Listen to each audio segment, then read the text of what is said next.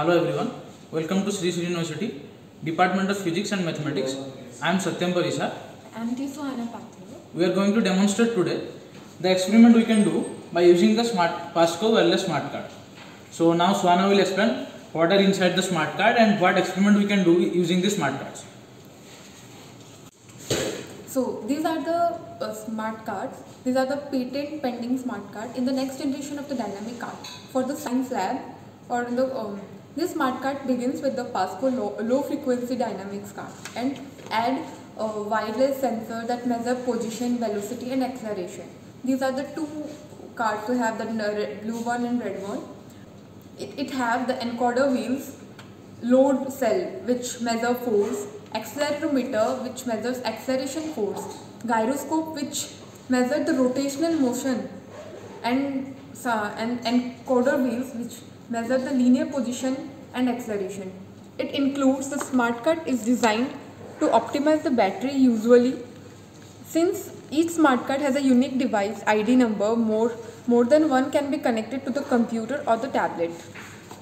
From this smart card, we can uh, do many experiments such as uh, difference between velocity and acceleration, conservation of energy, the average and instantaneous velocity and speed, centripetal acceleration and force, and many of work energy theorem we can do from this experiment. So in this uh, video, we will uh, doing about the Newton's law, which we have read all throughout our life, like uh, in our school and colleges too. So today we will do the smart card experiment of the Pasco. These are the very advanced smart card. They have many sensors with magnets and different type of frictionless wheels. So we will run these things into the this lane and by using these two cards we will demonstrate today the Newton law. I know everyone studied Newton law in school and all. We know all the three laws of Newton, laws of motion, but now we're going to demonstrate the thing. So coming back to the first law, so we know every object persists in the rest or in uniform motion in a straight line unless it compelled to change the state by force impressed on it. So until and unless there will not be a force, there will not be a motion, it will be in the rest. So I already connected this smart card into the app, uh, in, into the software we have. So now we will see the first law. Come here. This is at rest. The smart card is at rest, and you can see there is no graph.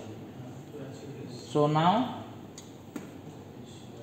we will start the recording. The graph is totally flat because the smart card is not moving.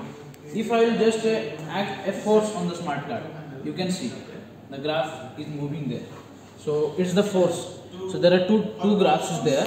One is force versus time, another is velocity versus time. So this is the thing. If I move the card up and to and fro, then you can see the changes in graph. If the smart card is at rest, so there will be no change. So you can see this is the changes, and if it's in rest, you can see the graph is totally flat. Uh, now coming to the Newton's second law, uh, as we read it that Newton's law, the acceleration of a particle as measured from an impartial form is given by the sum of all the forces acting on a particle divided by its mass. Its symbol is acceleration is equals to force by mass. So now coming to this experiment, we have this wireless smart card which is which is attached to the uh, Bluetooth uh, to the computer and this, this is a Pasco capstone. Here we will do this, this holding this uh, smart card, we will forward and backward in the x direction. Repeat this motion to a few times to generate the enough data to uh, see the relationship and then we have to just stop the recording.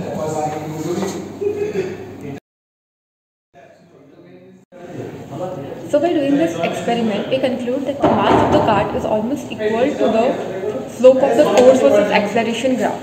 We can also prove that Newton's second law using the smart card that force is equals to mass into acceleration. From the Newton's third law, we will get these two into the track. And we all know that the Newton third law is generally every action has an equal and opposite reaction. So that is force comes into the pair. Force comes in pair every time. So now we will open these two things. Now these two sensors are connected into the computer which Swana is operating. So now you can see here I am giving a force reaction force starter here. The graph is going on there, up and down If i'll stop, then the graph will be in the straight line. If I will then again start, then the graph will be